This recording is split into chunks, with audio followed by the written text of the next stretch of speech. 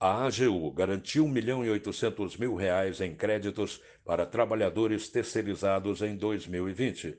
Foram ajuizadas 12 ações cíveis públicas para resguardar o pagamento a 616 trabalhadores. As ações foram ajuizadas após haver inadimplências e descumprimentos contratuais por parte de empresas contratadas por autarquias e fundações públicas federais.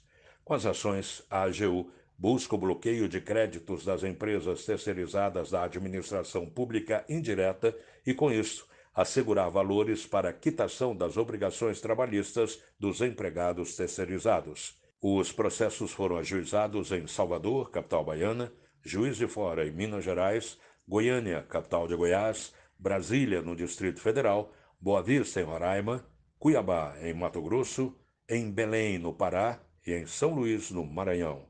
A iniciativa da AGU está inserida no Programa de Atuação Proativa, que faz parte de uma estratégia entre os órgãos de representação judicial e as autarquias. Da Rede Nacional de Rádio em Brasília, Luciano Barroso.